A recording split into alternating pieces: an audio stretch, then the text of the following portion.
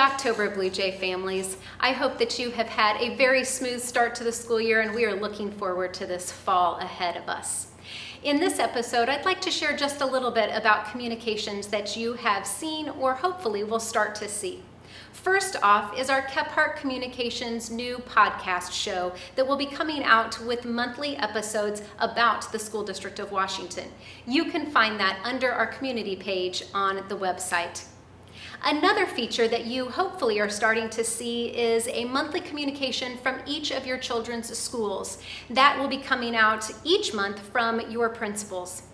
I also hope that what you have already seen is the FastBridge report for all of our kindergarten through eighth grade students for math and English language arts. This is new this year, and it is our way to communicate to you, our parents, the progress that your children are making nationally, again, in both ELA and in math. If you have any questions on that Fast Bridge report, please reach out to your child's teacher. With that, I hope that you have a wonderful fall, and if there's anything that we can do to support you, please don't hesitate to reach out. Happy fall, Blue Jays.